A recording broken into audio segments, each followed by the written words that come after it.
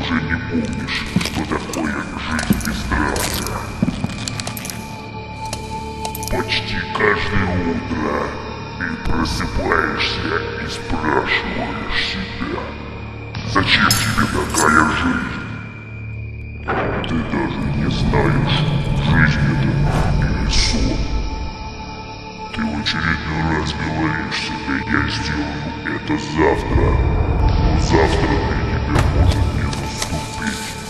потому что есть риск никогда не проснуться.